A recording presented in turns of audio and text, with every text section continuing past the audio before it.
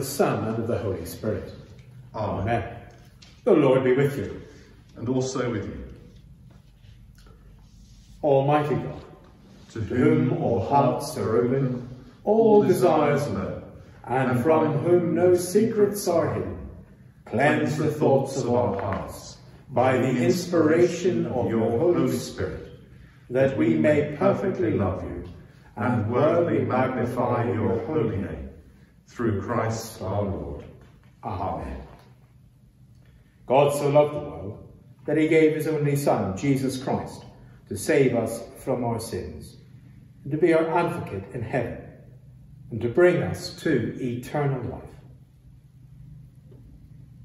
Let us kneel to confess our sins in penitence and faith, firmly resolved to keep God's commandments and to live in love and peace with all.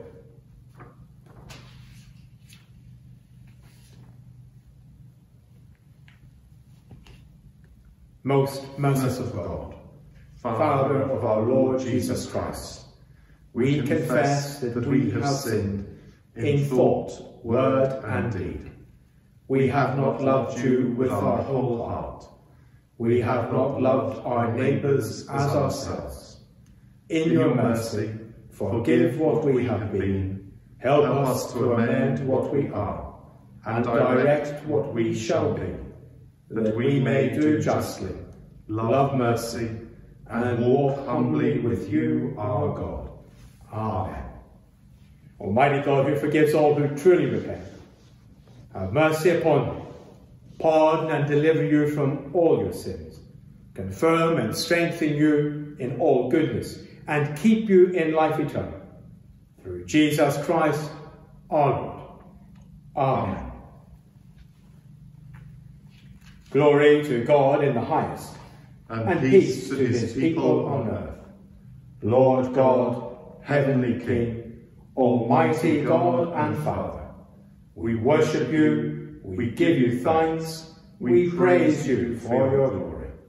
Lord Jesus Christ, only Son of the Father, Lord God, Lamb of God, you take away the sin of the world.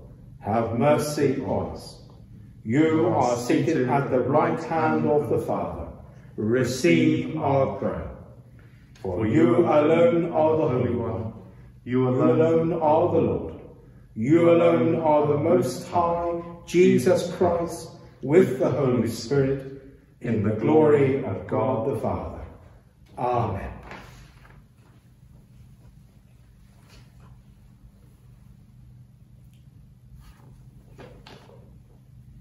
Let us pray. Eternal Father, whose Son Jesus Christ ascended to the throne of heaven, that he might rule over all things as Lord and King. Keep the Church in the unity of the Spirit and in the bond of peace, and bring the whole created order to worship at his feet, who is alive and reigns with you in the unity of the Holy Spirit, one God, now and forever. Amen.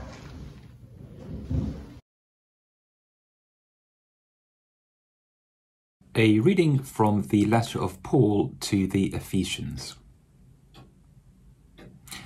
I have heard of your faith in the Lord Jesus and your love towards all the saints, and for this reason I do not cease to give thanks for you as I remember you in my prayers.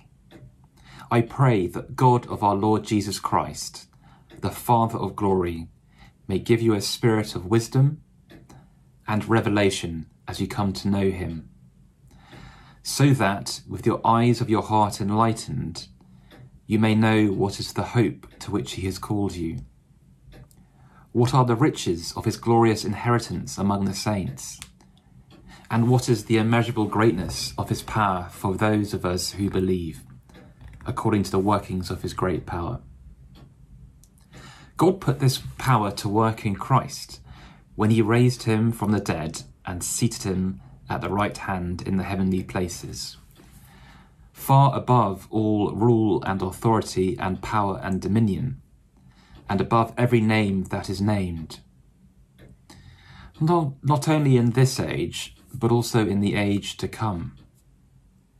And he has put all things under his feet, and he has made him the head over all things for the church, which is his body, the fullness of him who fills all in all.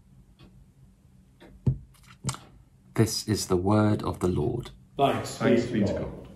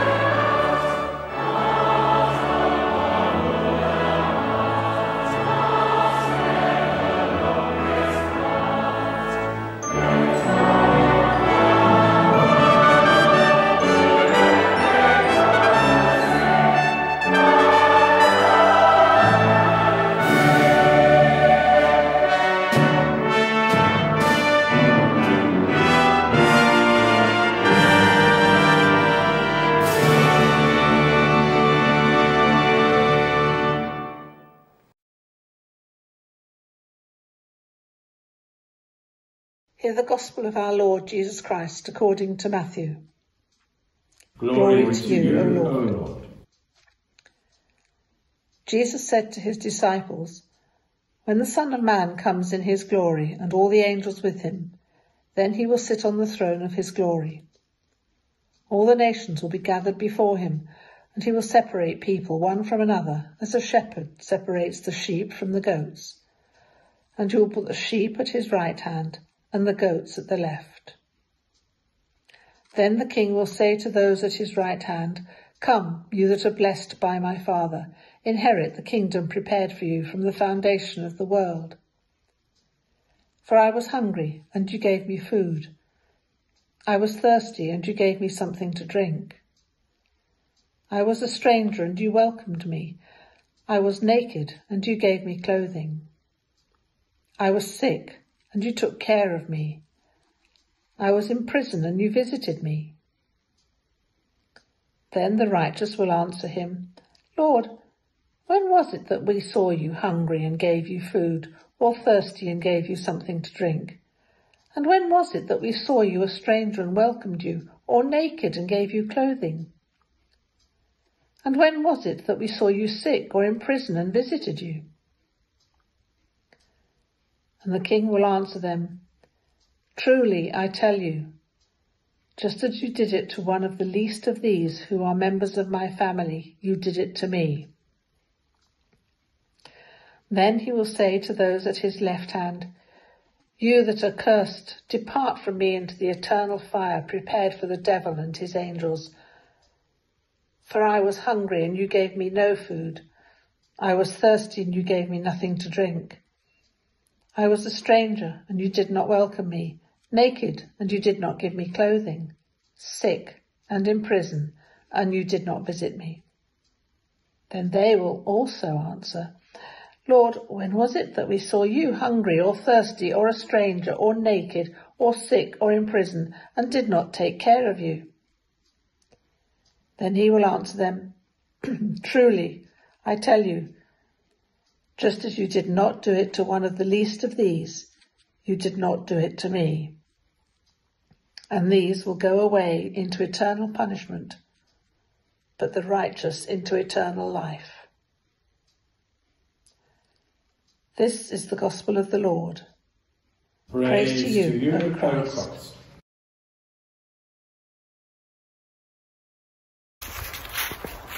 The sun came out so I thought I'd come for another walk rather than recording this in my study. Today is the Feast of Christ the King. It brings to conclusion the great, perhaps the long, uh, is a better word for it, season of Trinity. It brings to an end an entire cycle of the church year. Next week, on the first Sunday of Advent, we will find ourselves in a new church year. This past year, in our Sunday readings, we've been reading the Gospel of Matthew, almost straight through. There's been true for other books of the Bible, including Paul's letter to the Romans, one of the seminal works of the New Testament. The passage for today's Gospel once again returns to the theme of the kingdom of heaven, as it was the last two Sundays prior to this. First, we had, uh, though it was largely missed because it was Remembrance Sunday as well, uh, the separation of the wise bridesmaids who brought extra oil for their lamps from the foolish bridesmaids who forgot to bring extra oil and were unprepared when the bridegroom arrived. We must be prepared as we wait. Then there was the separation of the good stewards who multiplied the talents given to them from the lazy steward who buried his talent. The preparedness we are called to in this whole time of waiting is not a passive time, even in lockdown. It's a time to work and work hard. And so, what do we have today? When the Son of Man comes in his glory and all the angels with him, all the nations will be gathered before him, and he will separate people one from another, as a shepherd separates sheep from the goats.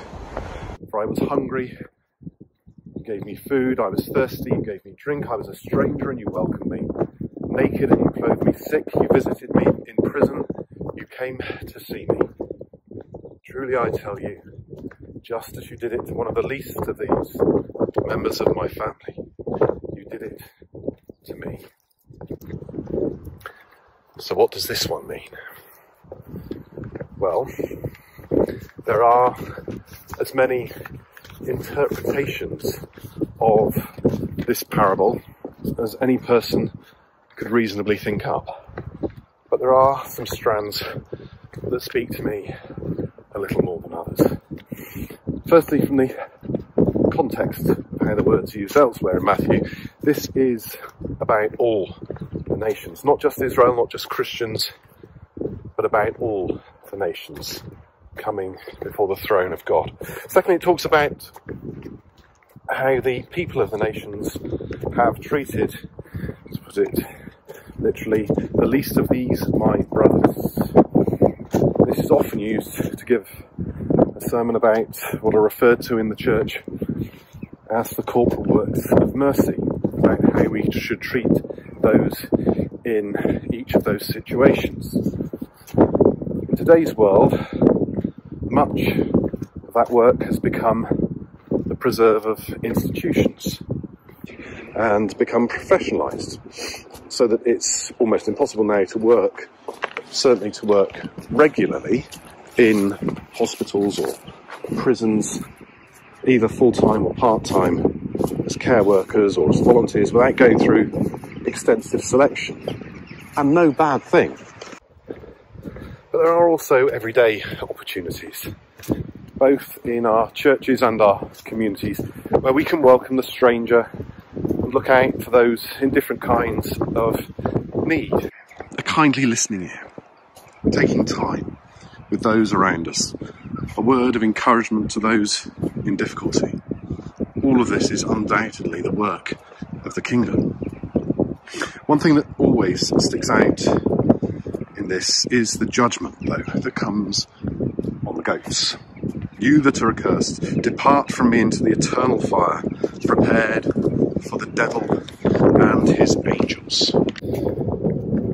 Now, the phrase we heard earlier, least of my brothers, is often used by Jesus to refer to his followers. And it's worth remembering Matthew gives us this teaching at the end of a long discourse on the end times that Jesus is giving to that group, the gathered group of 12. With them as the audience, is this a teaching to encourage them in the face of what's to come? A sort of, don't worry, those who mistreat you will get their just desserts? Maybe. But it's also much, much more. It may not be easy to accept a parable of judgment like the one we consider today, but it is necessary for us to seek the truth of its meaning. I'd like to suggest that right now, at a time when for the purposes of our public worship, we're not allowed in our church buildings, there's a very clear message from this parable and it's one we desperately need to hear right now. Today, Jesus teaches us that when we stand before God, we won't be asked how well we worshipped, whether in church, at home, or anywhere else. Instead, Christ our King will look at how our worship has transformed us into people who actively care for those in need. God grant us the grace to meet that challenge and that call. Amen.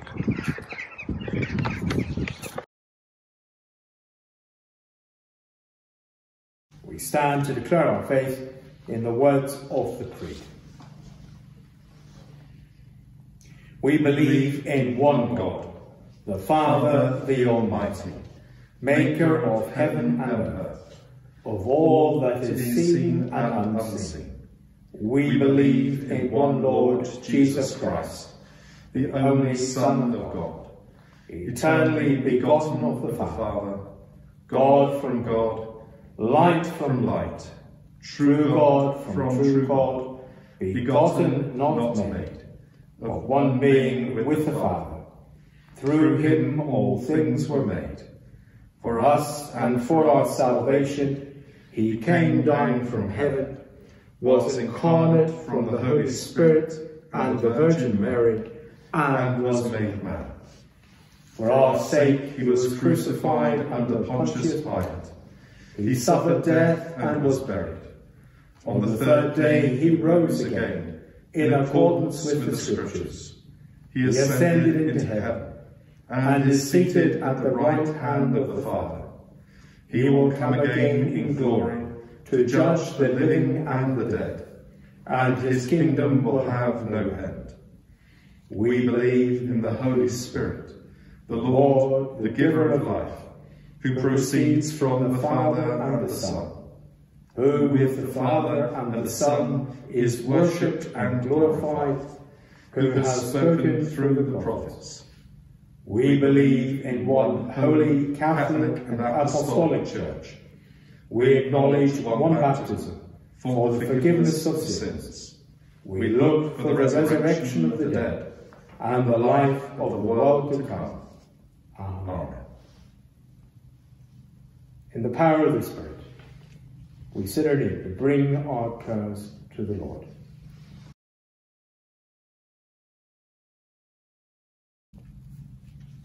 Most gracious God, we humbly pray for your holy Catholic Church. Fill it with all truth, in all truth with all peace. Where it is corrupt, purge it. Where it is in error, direct it. Where anything is amiss, reform it. Where it is right, strengthen and confirm it. Where it is in want, furnish it. Where it is divided, healed, and united in your love. Lord, in your mercy, hear our prayer.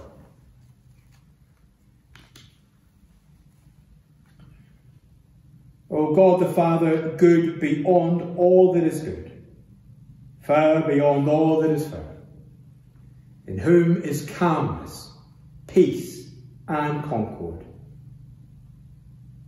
Mend the dissensions that divide us one from another, and bring us back into a unity of love, that we may bear some likeness to your divine nature, Make us one in the fellowship of a good mind, through that peace of yours, which makes all things peaceful, and through the grace and mercy and tenderness by which you, O Lord, are our Father, forever and ever.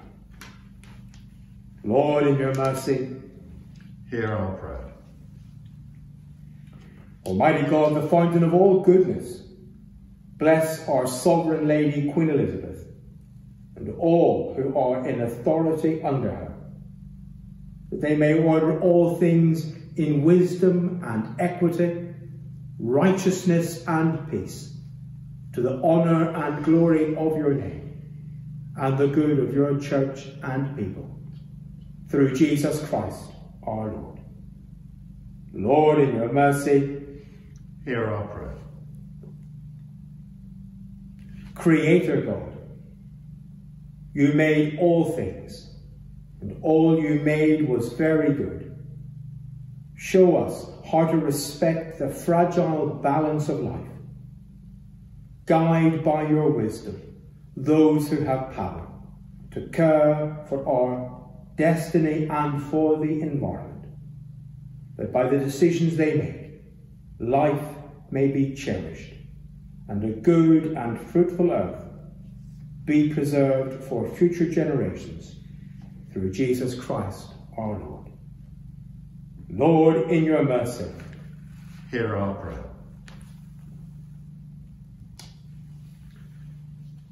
Most merciful Father, you have called us to be a caring church, reflecting in our lives your infinite care for us, your children. Help us to fulfill our calling and to care for one another in an unselfish fellowship of love and to care for the world around us and sharing with it the good news of your love and serving those who suffer from poverty, hunger and disease. Lord, in your mercy, hear our prayer.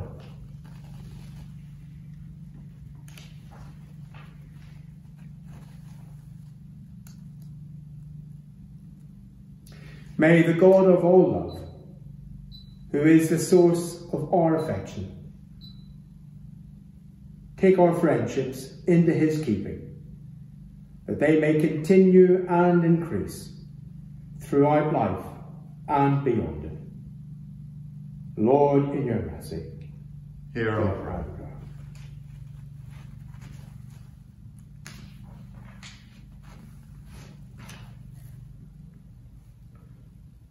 Lord Jesus Christ, Son of the living God, set your passion, cross, and death between your judgment and our souls, now and in the hour of our death. Grant mercy and grace to the living, rest to the departed, to your church peace and concord, and to us sinners forgiveness, and everlasting life and glory.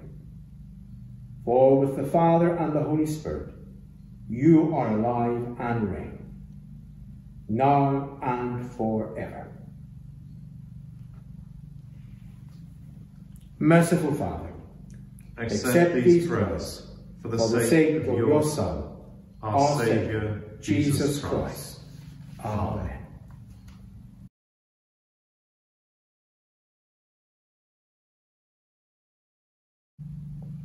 We are the body of Christ. In one spirit we were all baptized into one body. Let us then pursue all that makes for peace and builds up our common life. The peace of the Lord be always with you. and also with you.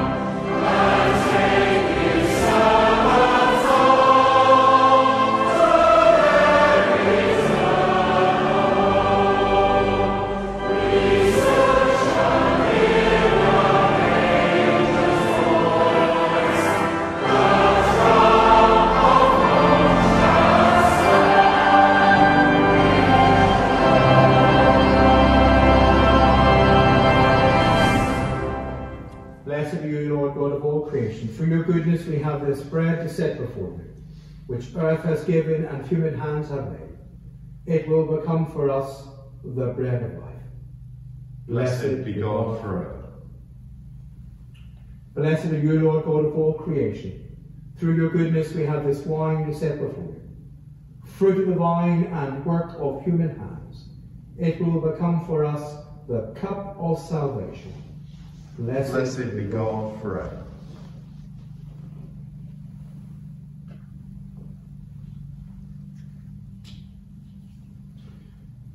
The Lord be with you. And also with you. Lift up your hearts. We lift them to the Lord. Let us give thanks to the Lord our God. It is right to give thanks and praise. Father, we give you thanks and praise for your beloved Son, Jesus Christ, your living Word, for whom you have created all things, who was sent by you in your great goodness to be our Saviour. By the power of the Holy Spirit, he took flesh. As your Son, born of the Blessed Virgin, he lived on earth and went about among us. He opened wide his arms for us on the cross. He put an end to death by dying for us and revealed the resurrection by rising to new life. So he fulfilled your will and won for you a holy people.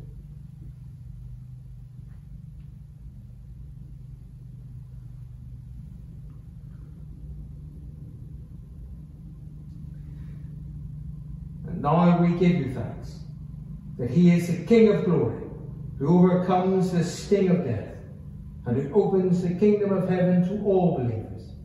He is seated at thy right hand in glory, and we believe that he will come to be our judge. Therefore, with angels and archangels, and with all the company of heaven, we proclaim your great and glorious name, forever praising you and saying, Holy, Holy, holy, holy Lord, God God of power and might. Heaven and earth are full of your glory. Hosanna in the highest. Blessed Blessed is he who comes in the name of the Lord. Hosanna in the highest. Lord, you are holy indeed, the source of all holiness, granted by the power of the Holy Spirit, and according to your holy will, these gifts of bread and wine may be to us the body and blood of our Lord Jesus Christ, who, in the same night that he was betrayed, took bread and gave you thanks. He broke it and gave it to his disciples, saying, Take, eat. This is my body, which is given for you. Do this in remembrance of me.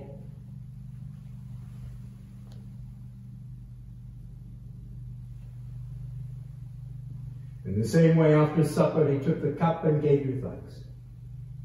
He gave it to them, saying, Drink this, all of you. This is my blood of the new covenant, which is shed for you and for many for the forgiveness of sins.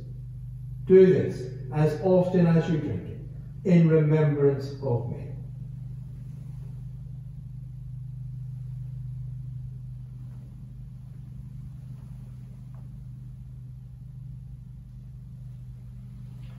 Great is the mystery of faith. Christ, Christ has died. died. Christ is risen. Christ will come again.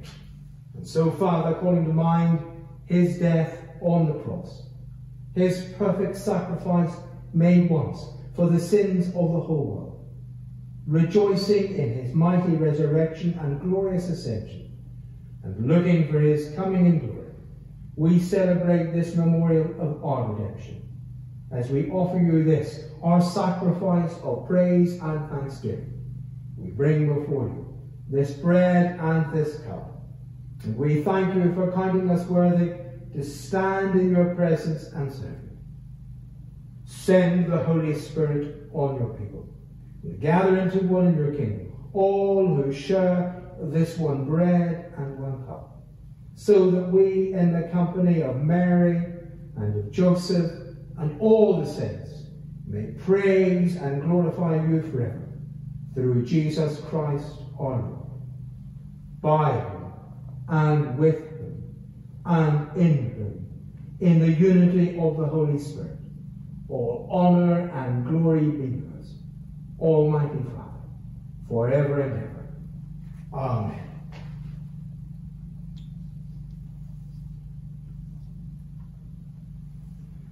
Let us pray with confidence, as our Saviour has taught us. Our Father, who art in heaven, hallowed be thy name. Thy kingdom come, thy will be done on earth as it is in heaven. Give us this day our daily bread, and forgive us our trespasses, as we forgive those who trespass against us. And lead us not into temptation, but deliver us from evil. For thine is the kingdom, the power, and the glory, forever and ever. Amen. We break this bread to share in the body of Christ.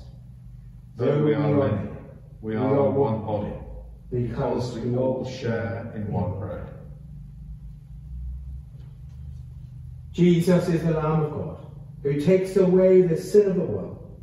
Blessed are those who are called to his supper. Lord, I am not worthy to receive you, but only say the word, and I shall be healed.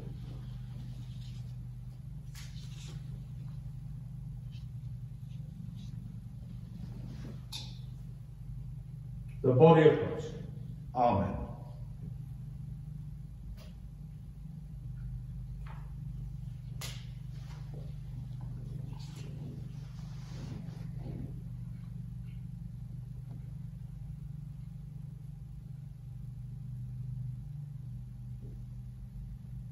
The blood of Christ. Amen. Amen.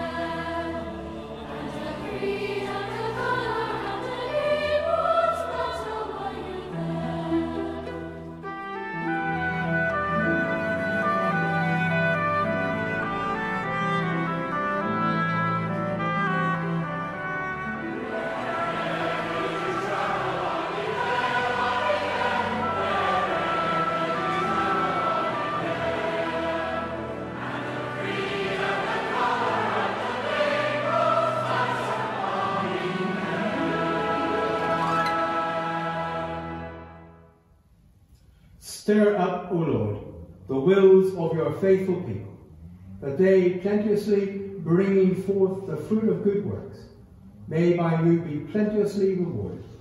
Through Jesus Christ our Lord. Amen. Amen. And we say together, God, God of truth, truth, we have seen with our eyes and touched with our hands the bread of life. Strengthen our faith, that we may grow in love for you and for each other. Through Jesus Christ our Lord. Amen.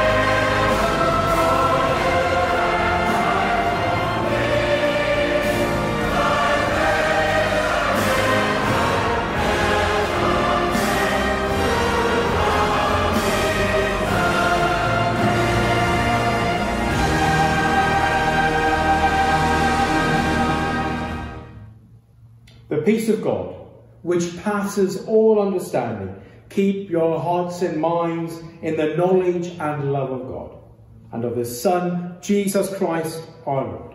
And the blessing of God Almighty, the Father, the Son, and the Holy Spirit be among you and remain with you always. Amen. The Eucharist has ended.